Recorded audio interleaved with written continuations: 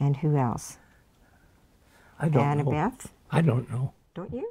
A painting of where Les grew up in Ireland, as well as photos of family and mentors, are hung with care on the walls of the home of this loving couple. Who's that?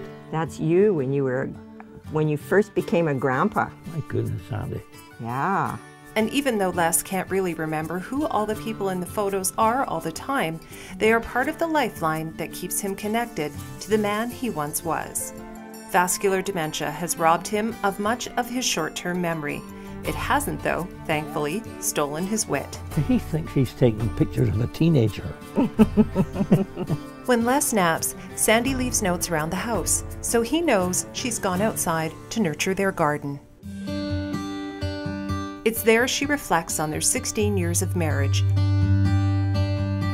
and how more than nine years ago, her husband and their relationship began to change because of the disease. Gone are the days of a carefree couple.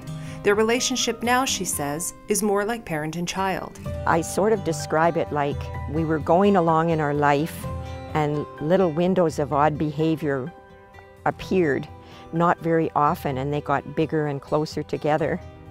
And now I'm living in those windows of the odd behavior, and the windows of who he was are getting smaller and farther apart. Campbell takes great joy in reflecting on who they were, and she finds ways to really enjoy who they've become.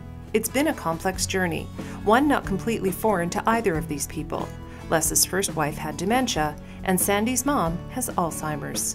With the help of support groups she reluctantly admitted she needed, came some help. My caseworker knows that yes, I'm upbeat and outgoing and strong, but the, the other side to me is that I struggle. It can be lonely, lots of challenges. For now, the couple enjoy outings.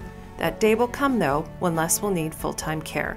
And that's when Sandy says she will fall back into the role of being a wife. She says that day will be peppered with guilt, as she will have to admit his needs are more than she can handle. In acceptance lies peace.